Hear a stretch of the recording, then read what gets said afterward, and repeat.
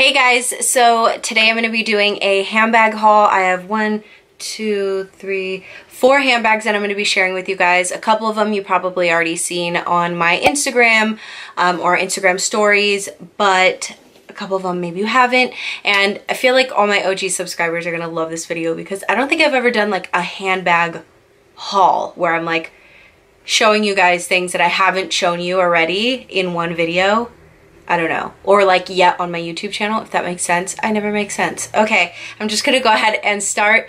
The first handbag that I got was actually sent to me from the amazing Teddy Blake. I have such a good relationship with that company just because I really believe um, in that company. I think it's so hard to find luxury quality handbags for a price point that, you know, a lot of us could afford. It's just really hard to find quality for a good price point. So I really believe in Teddy Blake and I have a really good relationship with one of the reps that I um, email back and forth with. She's so sweet. So she had reached out to me and asked me if I wanted to try out one of their newer style bags. And of course I was like, yes, girl, please.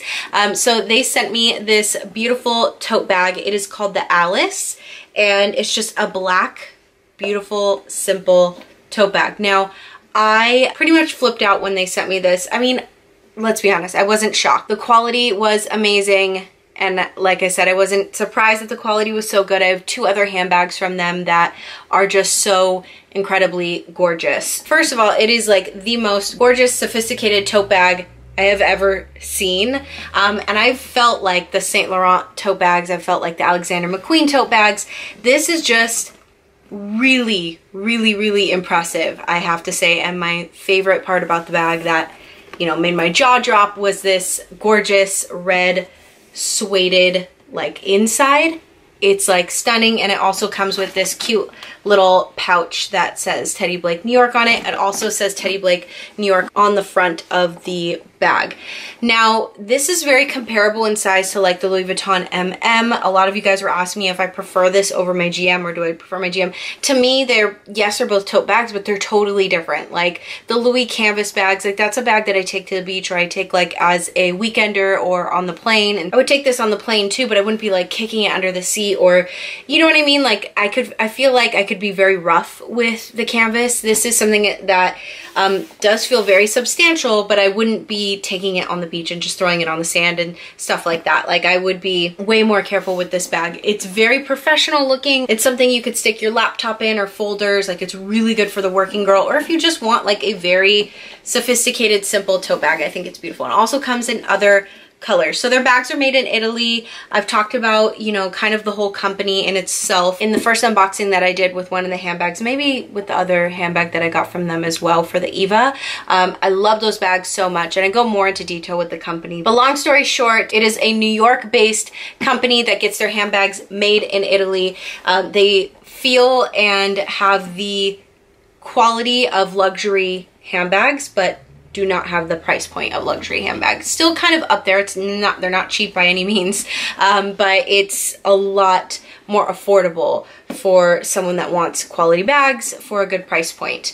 Um, they did give me a discount code. It's the same one that they gave me last time and it's TB Lisa 20 to get $20 off of your purchase. I believe the site, if you sign up for it, it's 35% off the site. And then with my code, you get an additional $20 off of that. So I think that's a great deal and I'll have everything linked below for you guys. Anything that I, there's one bag I can't link below, but anything else I'm gonna have linked below for you guys in the description box. So the next bag, when I showed this on Instagram, um, you guys lost your shiznit. It is such a dope bag and I'm, I'm obsessed with it, but I literally could not get back to all the DMs. I get stopped on the street when I wear this bag. It's very eye-catching, it's fun for summer, and it's a nod to the whole PVC bag trend, clear bag trend. And it's this baby right here. It's a clear iridescent mermaid firkin, as I like to say, because it's a faux Birkin. And it's just a cheap plastic bag from Amazon, okay? And I am so obsessed. The size is amazing. It's kind of comparable to like my Alexander McQueen little padlock mini bag. It's a little bit bigger than the City Mini, um, Balenciaga City Mini. But yeah, this is just a bag off of Amazon. Now everybody has the whole Chanel PVC clear handbag trend thing going on and I love them. I think they're fantastic, but I wanted something a little different. And of course I had to do it with like a little bit more rainbowy mermaid flair. It's just so cool and so fun and it's a really cute summer bag. I don't know how much more I could talk about a plastic bag, but I really do love it. You could kind of see, you know, your items in it, but not as much as if it were to be completely clear like the other clear bags on the market, which I would love to have this bag in like a solid clear one too, but this just, this just spoke to me when I saw this. I, I had to have it. So it's like kind of like a 25 centimeter smaller type of bag. It also comes with a crossbody strap which this look, this bag looks so cute with my little gold chain strap that you guys know I have on my pochette accessories all the time. Um, but I will say, because it's plastic and cheap, you know, the handles are kind of sharp here. Ignore my nails, please. I just ripped off my acrylics.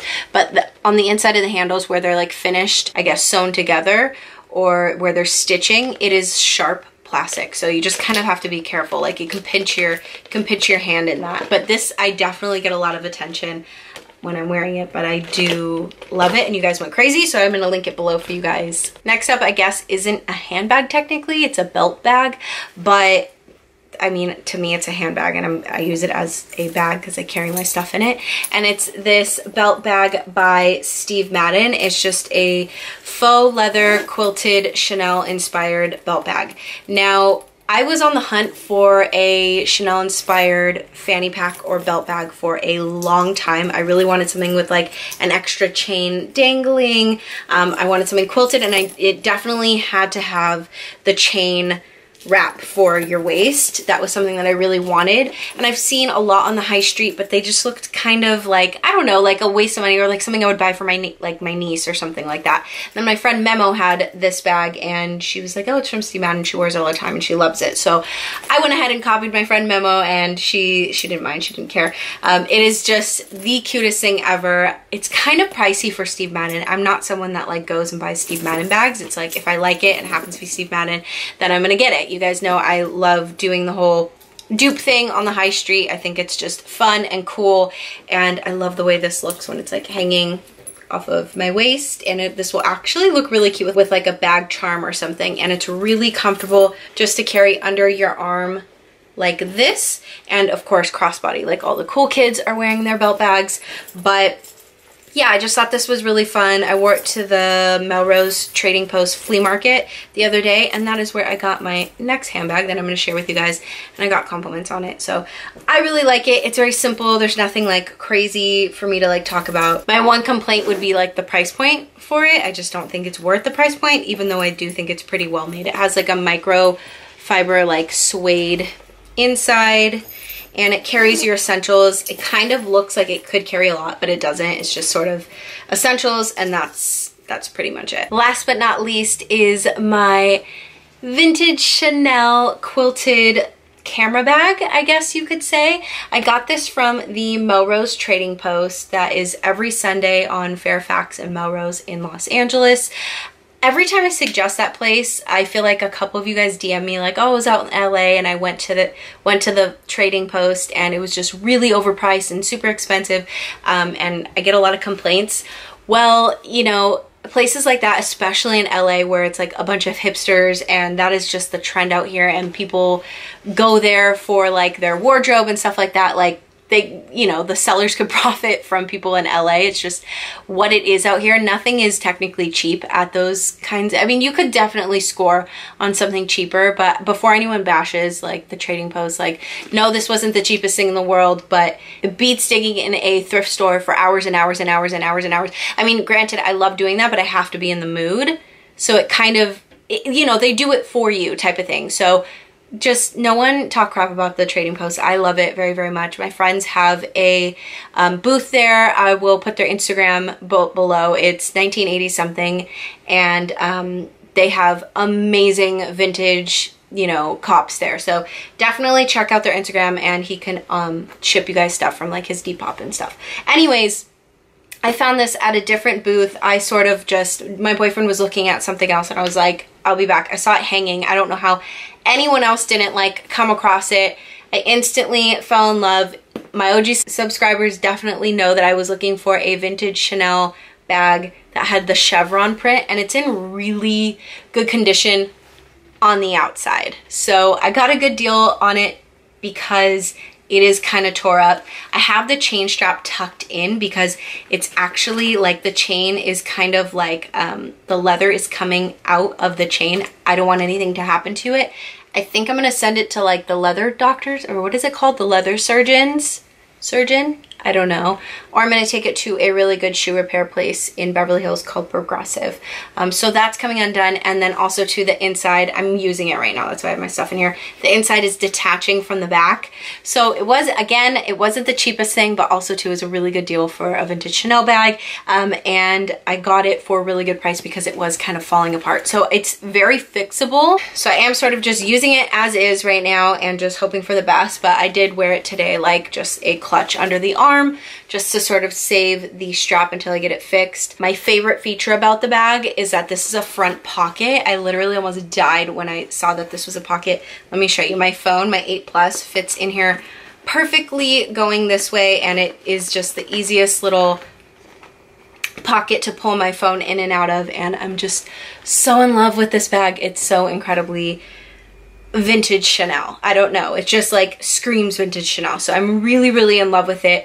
Um, and that is it. Those are my four recent handbag splurges. Of course, I did just before this get the Alexander McQueen. So I'm going a little handbag crazy and I need to calm down. All right, you guys. So I hope you guys enjoyed this video. Sorry, it's been a while since I posted. You guys know that once I have the time and I'm in the mood, I will film. And here I am. So thanks for watching. I'll see you guys next time. Bye. Mwah.